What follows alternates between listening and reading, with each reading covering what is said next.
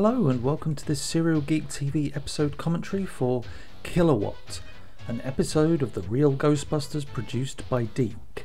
So, you know I like to hit you with air dates relating to the first time I saw the episodes of many a cartoon over here in the UK.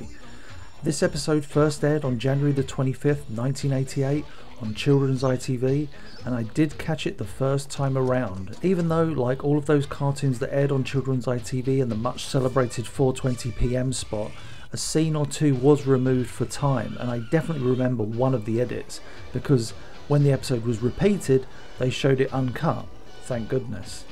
Len Janson and Chuck Menville wrote this episode. They wrote many of the original 13 ABC network episodes, over here in the UK, syndication wasn't a thing, so those first 78 episodes, 13 network and 65 syndicated, were all jumbled together, but it thankfully didn't affect our enjoyment of the show. When this cartoon aired, it was huge at my school. I was attending Forty Hill School at the time, and my classmates loved it as much as I did, so much so that Oh, do I tell the story here? Yeah, I may as well. So, in 1988, our class were put into teams of four and had to create a project all about the human body and what went into making it work. Myself, and I'm going to do my best to remember my classmates' names Andreas Hadjisavas, Benjamin Keep, and Philip East. I hope I got all those names right. We called our project Germbusters. and I illustrated a comic book featuring us busting germs, and the teacher loved it. And here's the funny thing the project proved to be so popular that soon I was expanding the Germbusters team in the comic until we had eight or so members from my class. Everyone wanted to be a Germbuster. Best thing of all, while I may not have the original comic, I do still have the comics I drew from 1988 until about 1990, at which point my love of comic books influenced the change, and some of the Germbusters now had secret identities. Yeah, it didn't last much longer after that, as you can imagine. Back to the episode. I wrote a rather fun synopsis for the DVD booklet that accompanied the Time Life DVD box set that I think still holds up.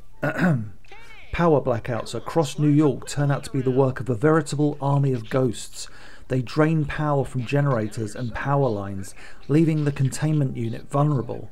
Armed with a car generator and a bicycle, Janine becomes the final line of home defense, while the Ghostbusters race off to deal with the problem at its source.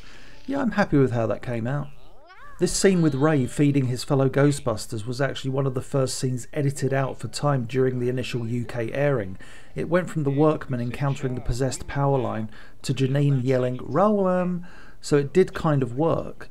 That's the thing, when the UK edited episodes of He Man, She Ra, The Real Ghostbusters, etc., they did remove scenes that would not affect the narrative. The removal of the aforementioned scene most definitely did not. Actually, given the animation in that scene where Ray feeds his fellow Ghostbusters, I'm glad I didn't see it.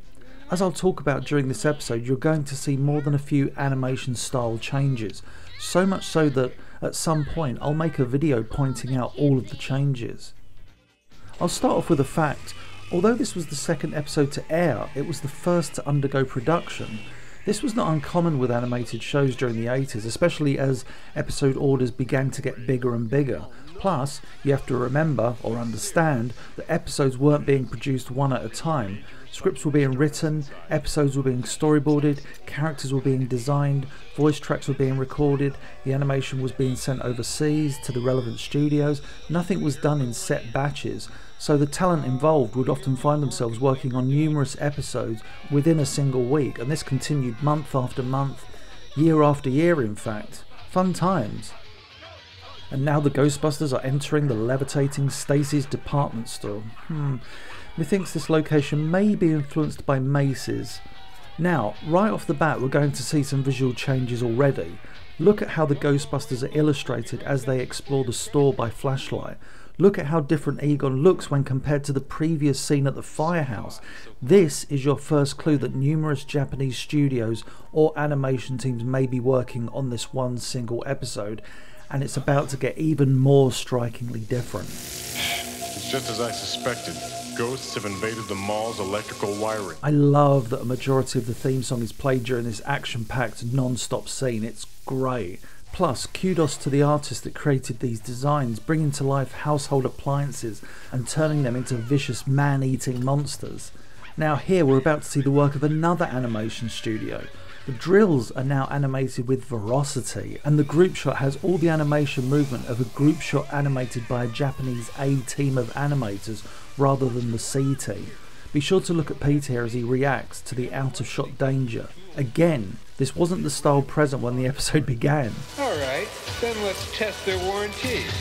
Speaking of these hardware design ghosts, the late great Everett Peck, who designed many classic ghosts for the series, almost definitely had a hand in these.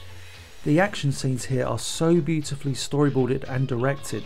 The timing, the quickness, it creates a very kinetic feel to the events unfolding.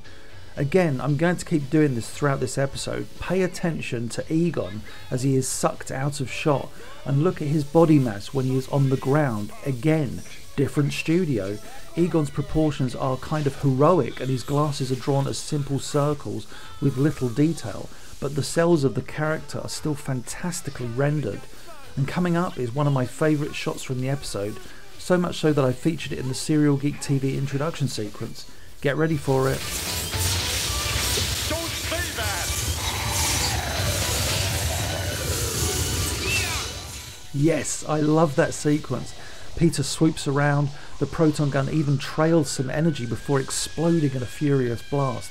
Now, quick, look at this green ghost that Peter has in his beam. Look at the frantic movement, the design, then watch as he is sucked into the trap. Go back and pause the image if you have to. It's crazily evident right there that there are at least three or four teams working on this action sequence. And don't get me wrong, I'm not saying that's bad, but my goodness, what I wouldn't give to have the A team of animators working on this scene from start to finish. There just seems to be a lack of energy, even literally, for the remainder of this action scene. No urgency. Zap, zap, zap. It looks so bland at this point. You don't even need to be someone that has studied animation for 40 years to notice these changes. And look at the ghosts all in a circle having a good old moan, but there is one ghost who is my hero. Watch this little purple guy trying to escape. yeah, he nearly made it. He's my favourite. But again, if you look at how those ghosts are animated compared to that green ghost scrambling to escape the proton beam, it's like night and day.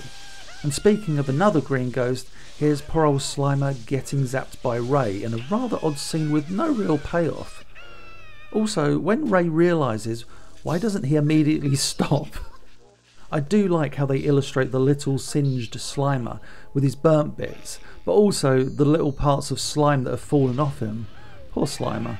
Now, again, look at this Egon speaking to the crowd, not even remotely close to that look the character sported when being dragged towards the giant possessed cooker. That's actually one thing to point out about with the first 13 episodes that aired on the ABC network. There were more than a few occasions when animation teams would clearly change mid episode. By comparison, the syndicated seasons most of the time stuck with one studio or animation team from start to finish on a single episode. One little thing I always loved was the effort put into animating the sequence in which the Ghostbusters unload the trap into the containment unit. And now we have a trope of the network season. The containment unit loses its power, the alarms sound, and the threat of all the ghosts being released is a possibility. But on this occasion, Egon has installed a backup generator, something we don't see any other time in the series, which is a shame. Now, it could be argued that's because the generator runs away, which it's about to do, but I'm sure Egon could have built another one. Oh, Egon, you're such a genius. Yes, I know. And you'll notice that these scenes are clearly the work of the same animation team that worked on the opening scene with the Ghostbusters at the firehouse. Again, it's a great design here, turning a generator into a little horned demon dog type thing that runs away. Egon's little uh, as it leaves is priceless. And this is the rather cool part of the episode. The threat is not over yet. An unknown ghostly force is still causing power blackouts. Arsenio Hall's delivery of this next line is so good. It really feels that his everyman voice of the Ghostbusters hits home with this line, highlighting dramatically the severity of the situation. Right, because when this thing blows, we're going to be up to our eyeballs in angry spirits and demons. Bravo, Arsenio, and Marsha Goodman, voice directing these fine talents. What will happen next? Speaking of great line deliveries, I give you Maurice LaMarche. Don't take this the wrong way, but in 50 seconds, we die. And if that wasn't perfect enough, check out this exquisite yell of frustration by Laura Summer. Now, watch the style change again. This close up of Peter and Ray will be followed by a very Japanese style of character design, very heroic looking, and we'll see the style go back and forth during this sequence. Also, I love the term pedal locomotion device to describe a bicycle. If I had to criticise one thing about this scene, I feel that the music used throughout really does undermine the drama we're seeing unfold. Yes, as with most things in Ghostbusters, there's a comedy element involved, rightfully so. But yeah, this music should be used in a scene with far less drama. it's, it's so funny watching the visuals jump rather blatantly between the two different studios. We get it again when we see the Ghostbusters celebrating in a circle. They're illustrated by a team of Japanese artists who really aren't adhering to the visual design we see in the close ups. This is a great little scene with the Ghostbusters really going into team mode to solve a problem, and Bless Janine, look at her go. Again, as the Ghostbusters heroically exit the shot, look at the way they're illustrated. It's so Japanese. And I understand that some people may not be able to distinguish these multiple styles, but it's like being able to spot when Toei Doga animate an episode of Spider Man and his amazing friends, or Tokyo Movie Shinsha have their A team of animators work on an episode of Galaxy High School, or when Ashi Productions animate an episode of Mask. There are always visual clues to look out for, some more obvious than others. Really nice shot here of Ecto 1 going across the Brooklyn Bridge. To me, this shot always brings back memories of the movie when Ray and Winston have just had their conversation about Judgment Day. And that is a lovely shot with the entire city of New York experiencing a total blackout. Not sure whereabouts in Brooklyn this power plant is supposed to be, but my guess is that it's really rather out of town. I do like that the power plant is made to look like a monster of sorts because you'll see what happens soonish. This scene is so silly with Slimer accidentally moving the Ecto 1. Did someone not apply the handbrake or something? It's a wonderfully directed scene, and I love Slimer's reaction when Winston asks Slimer to do something. Slimer looks at the wheel momentarily, and then it cuts to a shot of him through the windshield with his arms raised, screaming. That always tickles me. The gag with Slimer shutting himself in the glove compartment is made all the better with the hilarious animation of him squeezing himself in. I remember as a kid being very confused by Winston's line here. In the UK, the front of a car isn't a hood, it's a bonnet. Just what I always wanted to be a hood ornament. So I thought Winston's line about being a hood ornament was actually a hood order man. and I remember thinking, what's a hood order man? also, always nice to see Peter take the lead, be proactive, and save the day. One thing about the real Ghostbusters, they must have had a great time during the recording sessions performing the group screams. I realised that some of these screams become stock and are used over and over again in the series, but many are exclusive to the recording of the episodes they're intended for. Oh, and speaking of the voice recording sessions, and yes, I've mentioned this before, but for those that have never heard the anecdote, when we were filming the interviews for the Time Life DVD box set of The Real Ghostbusters, the fantastic Marsha Goodman, the voice director for the show, turned up and just handed me all of the call sheets for the entire series. These call sheets were so precious as they revealed not only when the dialogue for the episodes was recorded, but also all of the uncredited guest voice actors for the show, because there were so many and this episode had one that I had suspected for years, and when I asked Marsha, she immediately confirmed it.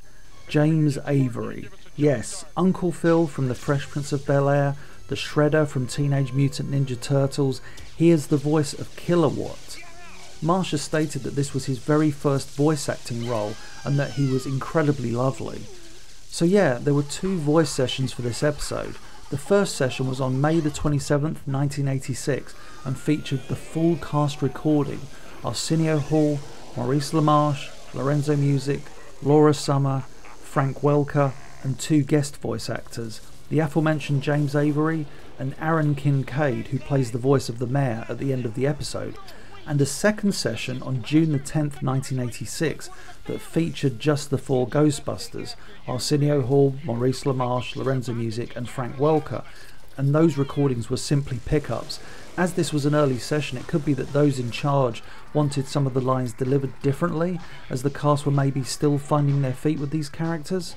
Alongside the second session of pickups, Laura Summer would attend, and the full cast would also record the dialogue for the episode Slimer Come Home.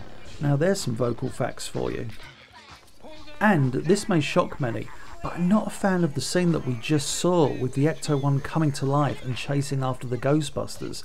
For me, I would have preferred if we had just jumped straight into this scene of the Ghostbusters hunting down Killerwatt in the power plant, because it's far more fun. The background artists do a terrific job with these scenes. Not only does this location feel unique, but the size of it, the scope, it really feels vast and never ending. A perfect environment for Killerwatt and the Ghostbusters to play hide and seek. But first, of course, the jumpsuited paranormal investigators have to deal with the seemingly endless allies of Killerwatt, or at least the army of power plant machinery powered by the mighty spirit. And it is good to see the Ghostbusters separated, although I don't feel enough is made of this moment. You know, united we stand, divided we fall. We should feel like this is a very bad situation. More awesome mechanical designs turned into possessed monsters. I love it. The action for this scene does go a little all over the place with impending battles interrupted by other attacks, but this is probably to show the chaotic nature of Killerwatt's mastery of any and all objects that require power. Thinking about it, Killerwatt seriously had the potential to become one of the Ghostbusters' greatest threats. This spirit has the ability to control and manipulate electricity on a vast scale. That means he could pretty much do anything he wanted. I love how the Ghostbusters are just being dropped into various parts of the power plant and somehow surviving these rather life threatening falls. I like the animation team that works on this scene. Nowhere near the best for the episode, but they do a good job showing the expressions on the faces of Peter and Winston as they take this crazy ride. We also get a wonderful sense of depth with Killerwatt in the distance. I just love that. Killerwatt almost waiting for them, like the horrific end to a bad ride or something. Again, regardless of the animation, this episode is directed incredibly well. Winston showing he has tremendous strength here, not only to hold the weight of Peter, but also to hold the weight of Peter's proton pack, which, as we saw in the movie, those things weigh quite a bit. This may sound a bit random, but this sequence with the Ghostbusters being separated, encountering their own troubles, only to reunite by falling on top of one another, it actually reminds me of the original Ghostbusters promo where we see pretty much the same thing. And as the Ghostbusters are reunited, we're about to see a terrific sequence here as the always laughing Killerwatt creates a true physical form for himself. Again, we see a fantastic design showing an inanimate piece of machinery turn into a rather fearsome monster. And this form of Killerwatt is easily my favourite in the episode. Plus, James Avery's voice. Me and my big mouth. I am Killerwatt. My army feeds on your electricity. It makes us so powerful. No human can stop us. Not even you. Come on, this is epic. And as we see, the proton beams have no effect on the spirit, he just absorbs them. This makes him a ridiculously powerful foe. Uh oh. Mikey likes it. The line Mikey likes it is incredibly random. For years, I thought Peter was saying, like he likes it, as in, it's like he likes it, which, yes, is grammatically all over the place. But it wasn't until I saw an ad compilation a few years back and caught the Mikey likes it line from the Life cereal commercial and thought to myself, hang on a second, close to 40 years after seeing that episode, I finally realised what that line was. After the Ghostbusters have fallen once again to safety, there's a terrific panning shot showing the sheer size of Killerwatt's physical form. But pay close attention to the way the creature is animated. There's real character in it, with Killerwatt turning his head to one side and his expression changes. And I'll remind you, his expression is comprised of inanimate objects, machinery. I love this sequence, and a huge shout out to Shuki Levy's awesome music. Wonderful animation and effects as Killerwatt begins to gain more and more power to the point that the power plant begins to twist and turn into a crazy looking monstrous bat creature. Look at this. This is a really epic moment in the series as the odds seem to be ridiculously stacked against the Ghostbusters. I like how Slimer reappears and just begins screaming. Frank Welker, always earning his paycheck. Now, here's where fans will probably be somewhat divided. As this is a network episode, Slimer was pretty much ordered to appear in every episode and, at times, to play a somewhat vital role in the story. The syndicated series had more power to not include him, as I've covered on this channel before, and so, as we see here, he plays a pivotal role in the Ghostbusters gaining an advantage over Killerwatt. Thankfully, the episode doesn't hang on to the fact that Slimer pretty much saves the day, which I will state is a very good thing. Again, the visuals are great here with Killerwatt's physical form lacking all energy and falling to the ground like a rag doll with such believable weight. Look at him go! and Killerwatt once again reveals his true form, and he's not too happy with the Ghostbusters as you can imagine. Over our dead!